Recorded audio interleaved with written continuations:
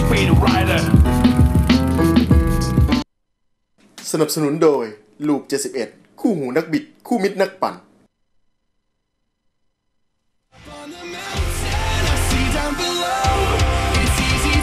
ครับขอต้อนรับคุณผู้ชมกลับเข้าสู่รายการ Speed Rider นะครับ ทาง Speed Channel True Vision 691 นะครับ แล้วก็ต้องขอบคุณนะครับ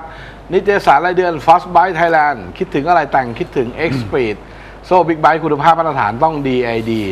ลูป 71 คู่หูนักบิด คู่มิตรนักปั่น และกล่อง GLP เร็วแรงสั่งได้ครับ มาในเบรกนี้แน่นอนเปิดรับสายนะครับ โทรมาได้ที่หมายเลข 02 530 9496ถึง98 รวมทั้ง SMS นะครับ 482 7772 พิมพ์ 4 เว้นวรรคตามด้วยคำถามได้เลยนะครับอืมมาเอลเวของเบรกนี้ครับประเดิมกันมาเลย ตรง swing arm ของ PCX 150 มันหวาน อ๋อแสดงว่าน็อตตรง swing arm นี่มันหวาน ครับ มีวิธีแก้ไงครับ ตรง swing arm น็อตหวาน รู้สึกจะเป็น M เดี๋ยวนะครับ M6 M8 M10 M12 ครับเบอร์ 14 นะเป็นน็อตเบอร์ 14 ตัวนี้จะเป็นน็อตยึดท่อดิอืมจะเป็นน็อตยึดท่อจริงๆมันต๊าปได้นะ รับได้ใช่ไหม ต๊าปเกลียวได้ครับ จริงๆ ถ้าถ้าเราจะประหยัดก็ตาบเกลียว สวิงอาร์มมันเป็นมีเนียมอะฮะใช่ครับมีเนียมครับ ก็ตาบได้นะสวิงตาอาบร์ได้มครับมีเนียมก็สตาร์ฟเกียวใส่เข้าไปหมุนตาบหมุนเกลียวสแตนเลสวางอืมเกลียวสแตนเลสเสร็จแล้วก็ตาบเรียบร้อย แล้วก็ใส่เหมือนเดิมได้ครับนะแต่ถ้าเราจะไม่ตาบเราจะเบิกมาเปลี่ยนก็ได้ครับ ก็เบิกสวิงอาร์มทั้งทั้งชุดเลย ใช่ครับ ราคาก็ไม่แพงมากนะประมาณ อืมโอ้เป็นก็ร่วมพันอยู่นะ ก็เป็นพันอยู่ะเป็นพันอยู่แล้วก็เบิกใหม่ได้ เบิกใหม่ได้ครับ แต่จริงๆง่ายที่สุดคือตาบเกียวก่อน ตาบเกียวก็ต้องหาร้านดีๆด้วย อืมอืมใช่ จริง ๆ ถ้าอยู่ไม่ไกลเนี่ยมาที่ร้านก็ได้อาจารย์อืมตามให้อืมตามได้อยู่รับได้ จริง ๆ ตัวเนี้ยมันมันขันไม่ต้องแน่นมากครับเพราะครัมับนยึดต้องสามตัว อืม พอเราไปขันแน่นมากๆปุ๊บหวานเรียบร้อย ชอบหวานอืม นะครับ ตัวนี้อย่าไปเน้นแน่นมากเพราะมันสามตัวมันยึดช่วยกันยึดอยู่ ครับ อะครับนะครับอะมาดูเอสต่อไปครับ อืม รถที่มีพรบแล้วไม่ต้องทำประกันภัยได้ไหมครับ ได้ครับ อืม คือพรบเนี่ยกฎหมายเขาบังคับรถอ่าทุกคันถูกต้อง ต้องมีพรบนะครับพรบนี่ก็จะคุ้มครอง กรณีที่ไปเกิดอุบัติเหตุไปชนครับใครเขาก็จะมีอืมในเรื่องของอ่าค่าเงินชดเชยเสียหายค่าเสียหายเกินเงินค่ารักษาหนึ่งพันบาท อ่าอืม นะครับ แล้วก็ค่ารักษาพยาบาลด้วย ส่วนประกันภัยเนี่ยอืม ก็จะมีไว้สำหรับคุ้มครอง ถ้าประกันชั้นหนึ่งก็คุ้มครองเราด้วยคุ้มครองรถคุ้มครองเราคู่กรณีด้วยอ่าใช่อ่า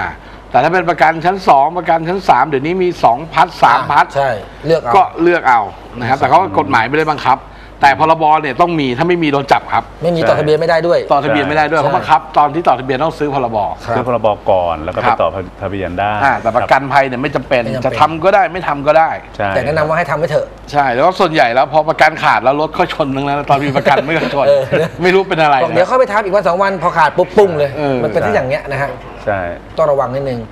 นะครับ อะสปาร์คร้อยสามสิบห้า i ครับ ใช้มา 3 ปีวิ่ง 20,000 กว่าโล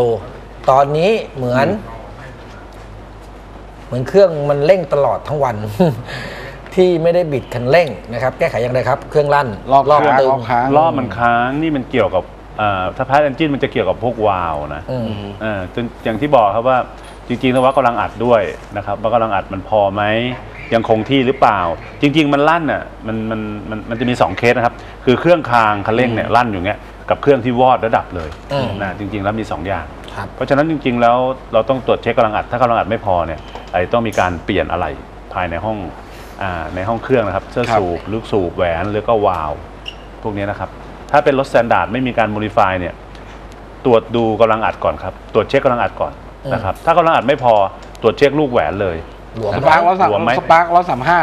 ครับมันเป็นไอ้นี่แบบพี่แดซิลหัวฉีดใช่ไหมเป็นไอครับตัวนี้ไอหัวฉีดใช่ครับ เป็นก็เป็นไอพวกลิ้นเร่งอะไรพวกนี้สกปรกใช่เป็นไปได้ไหมพี่รอบเป็นค้าง เป็นไปได้ถ้ารอบค้างเอ่อรอบลิ้นเร่งเนี่ยเป็นไปได้พวกอ่าจริง ๆ แล้วมันมีไฟแอนจินที่บอกอยู่แล้วครับว่าอ่ากี่ครั้งกี่ครั้ง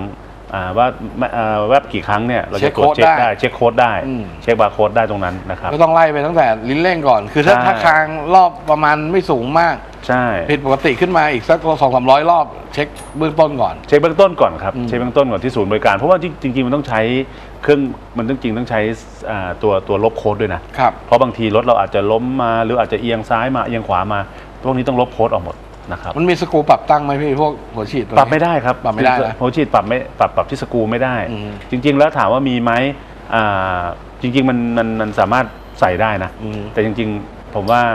ยึดสเปค standard ไว้ก่อนครับ นะครับควรจะตรวจเช็คอ่ามันจะมีอย่างหัวฉีดของสปาร์กนี่จะเป็นมิคุนิครับ อ่าตัวนี้จะมีประมาณ 5 โหมดอาจจะมีเรือนอาจากอ่าล้อแม่เหล็กเอ่ยจากคาร์บูเรเตอร์เอยจากตัวหัวฉีดเรือนเร่งตัวนี้เอยนะครับ แล้วมันจะไล่ไปประมาณ5โหมดครับ Experience Center ด้วย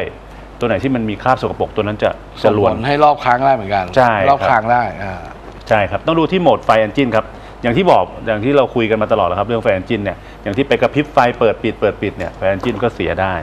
นะครับ ตรงนี้ตรวจตรวจตรวจเช็คที่ที่ศูนย์บริการใกล้บ้านเลยทำการที่ทำให้เครื่องคันเร่งค้างเนี่ยถ้าเป็นรถหัวฉีดเนี่ยเรือนเร่งสกปรกเป็นได้ครับ อืม ถอดมาล้างได้นะครับตัวอะนี้ครับผมาดูเวฟร้อยยี่ห้าหน่อย ตัวเก่าครับเว็บ 125ไอนะครับ ตัวเก่านั้นมันเครื่องมันไหลออกมาอืมตรงไหนเป็นครับ เนี่ยออกมาเป็นอะไรฮะมีต่อ เป็นอะไรเอ่ยตรงไหนครับผมเพราะอะไรคเพรับราะอะไร เอาว่าไหลจากตรงไหน ไหลไหลจากตรงไหนครับน้ำมันอืม เครื่องจากตรงไหนครับ ผมนะต้องต้องดูขอด้วยรายละเอียดหน่อย ใต้แข้งอ่า ข้างแข้งประกบไหลคอท่อมันมันมีเยอะครับน้ำมันเครื่องที่จุดจที่มันริงจะไหล ๆจริง ๆ จากห้องเครื่องเนี่ย จะถ้าเกิดเราเติมเยอะเกินไปออกได้นะ ใช่ มันสามารถที่จะโบดันออกมาหรือว่าดันออกมาได้ครับครับจริงแต่ถ้าซึมออกทางแข้งอะก็นั่นๆก็ใช่มันต้รั่วองแล้วดูด้วยว่ามันรั่วด้วยนะครับ ครับ ตัวนี้จะเป็นตัวตัวตัวตัวตัวต้องใหม่แล้ว ต้องบอกก่อนใช่ไหมว่าออกจากทางไหนอะไรแก้ให้ถูกนะครับ จริง ๆ เรื่องน้ำมันออกเนี่ยมันจะมีที่ซีนครับจะเป็นซีนจะเป็นออยล์ซีนต่างๆเนี่ยน้ำมันสามารถที่จะออกมาได้ ถ้าเราเติมเกิน เราใช้เราบิดเครื่องยนต์ในขณะที่จอดอยู่เนี่ยบิดสูงๆบิดรอบสูงๆบ่อยๆเนี่ย น้ำมันเครื่องก็สามารถที่จะดันออกมาได้เหมือนกันอืมควรจะตรวจเช็คเอารถไปอัดฉีดเลยครับ อัดฉีดล้างทำความสะอาดเสร็จแล้วมาจอดดูว่ารั่วและซึมตรงไหนเราแก้จุดนั้นอืมนะครับครับ แต่ที่สำคัญน้ำมันเครื่องอย่าเติมเกินนะครับครับเติมเกินมีสิทธิ์รั่วได้อืมมีสิทธิ์ดันออกมาได้ มันจะเบิร์นออกมาใช่ไหมใช่ครับออกมาได้อืมครับตัวนี้ออกได้ครับเออแล้วทีนี้แบบไอ้ไอ้กรณีเนี้ยถ้าบอกว่ามันออกมาทางแท้งอะอย่างบางคนบอกว่าเอ้ยผมไม่เคยแกะไม่เคยอะไรอย่างเงี้ยแต่มันบางทีนะถ้าแบบไปใช้งานหนักๆใช่ครับตัวอย่างเช่นเวลาแบบมันไปกระแทกตรงเขาเลย ตรงพักเท้าเนี่ยใช่ มันสะเทือนไปถึงเครื่องนะอันนั้นก็เป็นไปได้เหมือนจกัริน งๆจริงๆมันอย่างนี้ครับตู่ผมจะเรียนอย่างนี้ว่าไอ้เครื่องยนต์เราเนี่ยแปลกนะครับ เวลาเราเจอความเย็นมากๆหรือแรงมากเนี่ย เรามันสามารถเกิดไอ้น้ำเข้าไปในเครื่องเราได้นะครับ อืมมันก็จะกลายเป็นเป็นเป็นตรงนั้นนะครับเป็นเป็นได้เหมือนกันบางคนอ๋อ ไม่เข้าใจว่าเอ้ยผมไม่เคยลุยน้ำแต่ทำไมในเครื่องยนต์ผมเหมือนมีน้ำเลย อ๋อ จริงๆแล้วพออากาศเย็นมากๆ หรือว่าเรารถเราอยู่ในที่เย็นๆมากๆเนี่ยมันสามารถที่จะมีไอความเย็นเข้าไปได้นะอะมีสายเข้ามาพอดีครับ ครับผม อะสวัสดีครับ รับสายหน่อยฮะ สวัสดีครับ ฮัลโหลสวัสดีครับฮัลโหลครับผมอยู่ไหมครับหลุดสายไหม ยังอยู่หลุดเปล่าครับหลุดไหมอยู่ไหมลุดเป็นร สาย อืมอะติดต่อมาใหม่นะครับหลุดแต่ข้ามเอสไปก่อนแล้วกันอะนะครับครับอะได้ดูเอสไปกันแล้วกันรีเบล Rebel 300 ครับ อยากใส่ท่อแนวสตรีทหรือแนวฮาร์เลย์แนวสตรีทหรือฮาร์เลย์อะ มีร้านแถวไหนใช่ไหมได้รถแล้วเหรอรีเบลสามร้อยเนี่ย รีเบล แถวไหนในเขต Rebel สมุทรปราการบ้างไหมครับ โอ้นี่สมุทรปราการเนาะสามร้อยนี่วางขายแล้วนะ มีรถมันได้รับรถกันแล้วเหรอตอนบางนี้คน บางคนยังใหม่ๆอยู่เลยนะอ๋อแต่รถจองรถแรกๆแล้วถึงได้รถนะอ๋อรถเพราะตอนนี้รถเขาบอกต้องรอหมดเลยนะใช่ สามร้อยอะสมุทรปราการผมไม่ไม่ชัวร์เนาะอย่างนี้ดีกว่าเข้าไปที่บิ๊กวิงนะครับที่อยู่ใกล้บ้าน ครับ โซนนั้นไม่รู้มี BigWing อะไรแต่สมุทรปราการ ก็ Honda BigWing จริงๆเขาก็มีชุดแต่งที่เป็นท่อไอเสียแต่ง ไม่แต่300ไม่อยู่ BigWing พี่ เออเอานี่สามร้อยไม่ใช่ใช่ ห้าร้อยเออขอโทษ300มันต้องอยู่ในเออฮอนด้าใช่ใช่ใช่ขอโทษ Wing Center อ่า Wing Center อันนี้ต้องเป็นเออเขาเขามีของแต่งขายเหมือนกันนี่ มีมีใช่ เป็นชุด bobber กับชุด tracker ที่เขาขายน่าจะมีท่อแต่งขายนะ มีพี่ นี่ หรือไม่ตอนนี้เอาง่ายกว่านั้นก็ลองต้องลอง search ในเน็ตดูครับ เพราะว่ารถใช่ยังใหม่อยู่ ฮะ ไม่รู้ว่ามีคนทำออกมาอย่างท่อแต่งนะ อืม เออ นี่มันสามร้อยลืมไปไม่ใช่แล้ห้าวร้อยสมุดปราการเราก็ไม่แม่นด้วยเนาะใช่ ครับ อะไม่เป็นไรอะอะมีมาสายเข้ามาครับ สวัสดีครับ คุณเชษฐาครับ ผมอ่าพี่เชษฐาหรือเปล่า ครับผมสวัสดีพี่ครับต้องเบาเสียงทีวีก่อนนะแล้วฟังในโทรศัพท์นะครับ ครับฮัลโหลครับผมครับ ครับผมครับ ครับใช่ครับ ว่าไงครับพี่เบาเสียงทีวีก่อน ครับครับอยากอยากสอบถามว่าไอ้รถมอเตอร์ไซค์ผมยี่ห้อวีลาโก้750ซีซีนะฮะครับผม ใช้น้ำมันเครื่องเซโนติกได้หรือเปล่าครับ วีลาอ๋โก้อเจ็ดร้อยห้าสิบวิธีใช้เซฮัติลโหลได้ไหมได้สิครับใช้ได้ต้องเดี๋ยวพี่หลีดเสียงก่อนนะครับ แล้วเดี๋ยวจะได้ไม่เสียงงั้มันนจะได้ไม่ดีเสียงเลยมันครับดีเลยครับพี่ต้องฟังครับทางโทรศัพท์แล้วเบาเสียงทีวีก่อนครับ ผม เดี๋ยวคุยกันไม่รู้เรื่อง ใช่จริงๆฮัลโหลจริงๆใช้ได้นะ synthetic ครับ ครับอะครับผมตอบทั้งโทรศัพท์ไม่ค่อยได้ยิน ครับผมอ๋อตอบตอบพี่นะครับ จริงๆแล้วมันพี่ถามเรื่องน้ำมันเครื่องใช่ไหมอืม ครับจะจะเปลี่ยนน้ำมันเครื่องอะฮะใช่ครับ อ่าฮะ เป็น synthetic ร้อยเปอร์เซ็นต์ถูกต้องไหมครับเอ่อเอ่อเป็นเป็นกึ่งกึ่งสังเคราะห์ฮะ อ๋อ เป็น semi เป็น semi ใช่ไหมครับผมได้เลย semi ใช้ได้ครับ ใช้ได้ครับผม เป็นแต่ เป็นเป็นเป็นของรถยนต์เนี่ยใช้ได้ไหมฮะแต่มันอยู่ที่เบอร์ที่อยู่ใช้ที่คเบรับ อร์อืมจริง ๆ แล้วเราเบต้อองร์ใช้สี่ของสิบนะฮะจริง ๆ ต้องใช้ของมอใช้ของมอเตอร์ไซค์เตอร์ไซค์ดีกว่าครับผมเพราะว่ามอเตอร์ไซค์เป็นเป็นของยี่ห้ออะไรฮะ มอเตอร์ไซค์ตอนนี้ที่โอ้โหใช้ได้เยอะก็แยะมันเลยได้หลายพี่ยี่นะห้อพี่เยอะเยอะต้องบอกว่ารถยนต์เนี่ยมันมันแบ่งเอแยลกก็การมีทำงาฮะนเอลก็มีที่ใช้สำหรับเนี่ยวิลาโก้750นะครับน้ำมันเครื่องเอลก็มีสี่จังหวะโฟเทคมอเตอร์โฟเทคเนี่ยครับโฟ Tech ใช้ได้เลย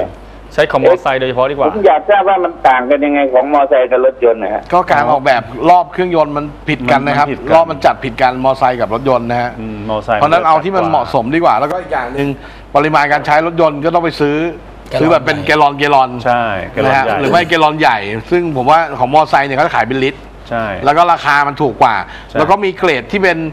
ที่เป็นกึ่งสังเคราะห์ก็มีพรีเมียมเกรดพรีเมียมก็มีพี่ลองเลือกดูใช่มี semi ด้วยแต่ผมว่ามีพรีเมียมด้วย แต่ผมว่าจริงๆ แล้วแค่เกรดที่ใช้งานทั่วไปเนี่ยพอแล้วเหลือๆแล้วสำหรับ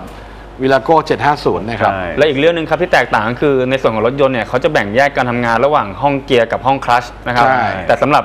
Virago เนี่ย มันรวมเลย อ่าห้องห้องเกียร์กับห้องคลัตช์เนี่ยมันเป็นตัวแบบเป็นเชื่อมติดต่อกันอ๋อใช่เพราะฉะนั้นเนี่ย ถ้าใช้เบอร์ไม่ถูกต้องนี่คลัตช์ลื่นเลยนะ ใช่ ลื่นครับลื่นถ้าเผื่อว่าเอาลื่รนถยนต์มาใช้นี่โอกาสคัดลื่นมีสูงครับ ครับ เพราะว่าแล้วอีกอย่างหนึ่งอ่ามอเตอร์ไซค์เรารอบเครื่องมันจะจัดกว่าอือฮึ นะครับหลังรถยนต์เนี่ยเขาแยกเลยน้ำมันเกียร์น้ำมันเครื่องยนต์เนี่ยเขาจะแยกกันเลยครับ ต่างกันตรงนี้ครับผมผมที่ว่ามอเตอร์ไซค์ไอ้ไอ้สองสองสูบนี่ รอบมันรอบช้ามันมันรอบเครื่องตุบตุบตุบตุบฮะเข้าใจแต่รพี่ถยนต์ครับแต่ตุบตุบตุบแต่ยังไงก็ต่างกันมอไซค์พวกเนี้ยมันลากรอบได้ถึง8 9 0 0รอบแต่รถยนต์เนี่ยมันลากลากรอบแค่ห้าพันรอบ6 0 0รอบเองใช่รอบตัมัดนน้อแล้ยวกว่าน้อยครับผมยังไงก็น้อยกว่าพี่ครับรอบถึงแม้รถยนต์จะน้ตุอบยกตุบว่าตุบตุบสูบวีเนี่ยตุบวิลาโก้เนี่ย ใช่ครับผม ยังไงก็ใช้เป็นของมอเตอร์ไซค์ดีกว่าเนาะพี่เนาะอีกอันหนึ่งที่บอกก็คือมันเข้าไปมันไปรวมกับน้ำไอห้องเกียร์ด้วย ใช่ครับ มันมันเดี๋ยวจะคัดลื่น มันจะต่างตรงนี้แหละครับ แล้วอีคกรับอย่างหนึ่งก็อย่างมอเตอร์ไซค์มีสารชะล้างเรียบร้อย แต่รถยนต์เนี่ยสารชะล้างผมไม่แน่ใจว่าบางคนละแบบางเกรดกัน บางอย่างมันไม่เหมือนกันนะครับ ถามว่าเคยเอามาลองไหมเคยนะครับ แต่จริงๆแล้วคาดลื่นทุกคันเลยนะเติมได้แต่ไม่ดีเลยเดี๋ยวไม่มันดีคัดเลยลื่นด้วยมีปัญหาด้วยครับ คือบางผมทีอยากจะใช้เซฟคัดอยากไม่จะประลื่หนยัดนะฮะครับผมก็มันอยู่ที่เบอร์ที่ใช้ไงพี่เบอร์ที่ใช้นะครับผมถ้าไม่ลื่นตอนนี้อนาคตยังไงก็ลื่นครับ ฟันธงเพราะว่ามันไม่ส่งผลดีอะครับอย่างที่พี่บอกครับก็คือรถยนต์เขาจะมีการแยกทำงานระหว่างห้องเกียร์ห้องคลัตช์ เขาไม่ได้เชื่อมติดกันเหมือนรถจักรยานยนต์รถจักรยานยนต์กับอย่างวิลาโก้เนี่ย มันห้องเกียร์กับห้องคลัตช์อะมันเชื่อมติดกันผมจะบอกว่ามันปริมาณที่มันจะส่งไปถึงห้องคลัตช์เนี่ย มันน้อยไงพี่แล้วทีเนี้ยผมจะบอกว่าถ้าวันนี้ไม่ลื่นเดี๋ยววันหน้าก็ลื่นพี่ ถ้าพี่ใช้น้ำมันเครื่องเกรดรวมอะใช่ครับยังไงก็ขอให้เลือกใช้เป็นของมอเตอร์ไซค์นะพี่นะแล้วแล้วไปไปซื้อได้แถวไหนกันร้านมอเตอร์ไซค์ร้านทั่วไปมอเตอร์ไซค์นะครับมีเอ็กซ์ขายสหมปีดดก็ได้พี่เอ็กซ์สปีดพี่อยู่ที่ไหนอะพี่อยู่ที่ไหน ครบ พี่อยู่ที่ไหนผมครับ ก็อยู่หน้าอิมพีเรียนเนี่ยใกล้ใกล้สตูดิโอของสปีดไรเดอร์เนี่ย อิมพีเรียน อ๋อลาดพร้าวเนี่ยเหรอ อ๋อ พี่อยู่ลาดพร้าวนี่เอง อ๋อ ร้านอะไหล่เลยพี่ ร้านอะไหล่ที่ขายอะไหล่รถยนต์ก็ได้ มอเตอร์ไซค์ก็มีแยกต่างหากเหมือนกันใกล้ๆก็มีเนี่ยครับดรไบค์อ่าได้ ร้านดรไบค์ใกล้ๆ อยู่เรียบด่วนนะครับพี่อ๋อครับครับอ่าไม่ใช่เรียบด่วนโชคชัยสี่ครับใช่ผมครับผมครับ พี่ครับ ในช่วงที่สี่ก็มีร้านมอเตอร์ไซค์เยอะแยะพี่ เข้าไปซื้อได้เลย ครับผม อ๋อ ครับครับขอบคุณมากครับโอเคครับครับ สวัสดีครับพี่สวัสดีครับสวัสดีครับสวัสดีครับ นี่รุ่นใหญ่ไฟกระพริบเลยเนี่ย